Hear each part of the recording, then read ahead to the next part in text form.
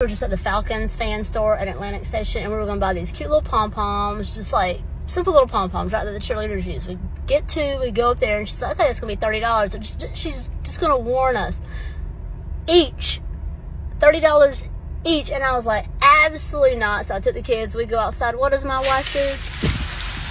Rise up, y'all. Buy the pom pom. Just one. Seriously. I gotta show my food. look, it's made. I could have made this. All right, make one for me, and we'll compare the two. Uh, you have now been tasked with making one. I need to know, are there any Falcons cheerleaders here? Is that what y'all really use? Is this uh, authentic Falcons No. pom pom? I bet it is.